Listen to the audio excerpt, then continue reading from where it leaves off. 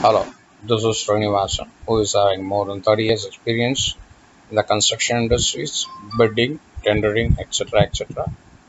Like to give a small presentation on how to do a rate analysis. What is meant by a rate analysis? Why we require a rate analysis? How to prepare the same? What are the factors to be considered? What to do after the rate analysis? An estimator and a tendering manager has to recognize the purpose. Why do we need a rate analysis? When a contractor want to start a new project, they have put together the rate analysis for budgeting, for filling a tender, for a proper estimation and tendering purposes. The rates analysis will help him to fill in the BOQ in a proper fashion. Finalization of the bidding amount.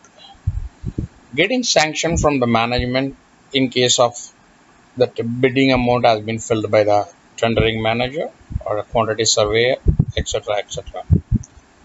Government have their own rate analysis which is known as a DSR. The workout to work out the actual budget with all the possibilities, the rate analysis must. To work out the material cost, labor cost, along with the overhead and profit of the particular items. To exercise the price of extra items and works which are not included in the BOQ, which should be done while the course of the construction. To revise the cost, increase or decrease the value of the job and artwork of the modification. Total changes occurred beyond the GFC in the drawing or for any object which is being carried out as per the advices given by the client or the approving authority. How to prepare the rate analysis? Prior to the assessment of the rate examination, the tendering manager or the estimator has to visit the site to analyze the prevailing rates of the various material such as cement, steel, metal, etc. etc. so that they can work out a proper costing. In the wake of getting any idea of the entirely of the above component, the estimator will prepare the proper budgeting. After taking all these uh, uh, details, he has to prepare the budgeting for which his visit to the site is mandatory. The important points of the rate analysis rate of materials, rate of transportation, rate of machinery in case of hiring, approximate cost of overhead like water, electricity, transportation, etc., constant of materials and labor work per unit. Component of the rate analysis. The attached pie chart will show you what is the percentage of various items involved in the rate analysis. It is purely an approximate idea which might vary according to the situation's demands. After rate analysis, what to be done? After the rate analysis, estimator can put all together and do the following things. Quantity survey. The quantity survey is mandatory for doing a rate analysis. The quantity surveyor has to prepare the quantity based on the tender drawing so that the estimator can work out the rate analysis properly. Estimation. Prepare a right estimation with the assistance of the quantity survey and rate analysis. Variation in BOQ. With the available drawings, quantity confirm the BOQ. This is very useful to recognize about the variation of the actual and BOQ quantity. Preparation of the smooth document. Uh, the draft tender project paper has to be prepared by the tendering manager before getting an approval from the management. Main component of the rate analysis. The following are the main components of the rate analysis.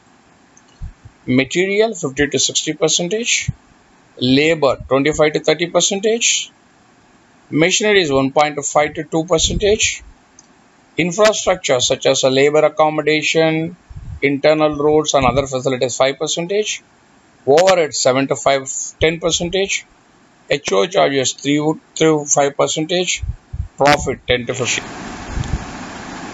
How to prepare a rate analysis? First step, to various constant for a for example for concreting by mixed decision report available in the adjoining projects or our earlier projects.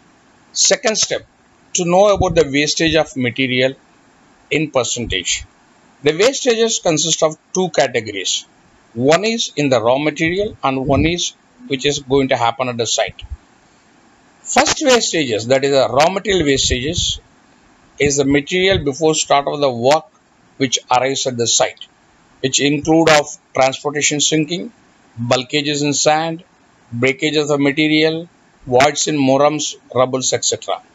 The second wastages happens at site such as RMC wastages, breakages of a material, uh, wastage of a motor, etc. etc. Third step to know all the rates of the materials, labor, machineries, overhead, etc. Fourth step labor rate. Please check the labor rate with the local contractor, which will enable you to divulge a proper figure. Before obtaining the labor contractor rates, explain the labor contractor, the quantum of the job, the location of the job, etc. etc so that the labor contractor can give a proper rate which will enable you to do the proper billing. Fifth step, machinery rates. This also uh, this also will play a crucial part in your bidding. If you are hiring from the local market, understand what is the rental charges they are charging. In case of if you are hiring, if you are using your own machineries, check with the plant and machinery department how much the rental charges they are charging for the each and every month. Overheads. Overheads consist of the following things.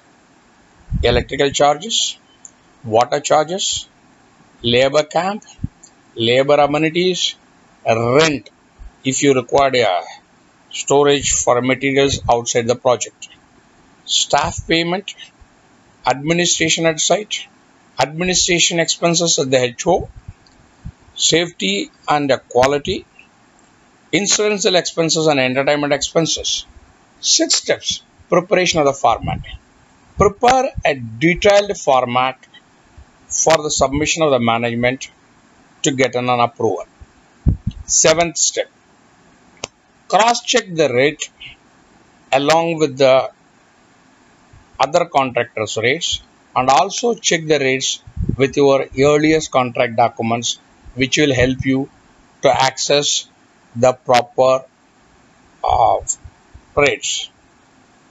Cross-checking. Cross-checking is mandatory. You can cross-check the rates you derived for a particular project in comparison with other projects or the other contractor those who are working with uh, other sites which will enable you to come to a conclusion of the what is the correct figure. Format or a template for the rate analysis. Here I have shown a rate analysis template which will enable you whenever you are doing a rate analysis kindly go through this conclusion. From the above given details, you will be easily understand how to prepare a cost analysis which will help you in developing yourself as a tendering manager or etc etc for further clarification you can write to me without any hesitations. Thank you for watching awaiting you for your feedback. In case you like the presentation kindly like share and subscribe for the channel which will motivate me to help in giving you furthermore good videos Thank you once again.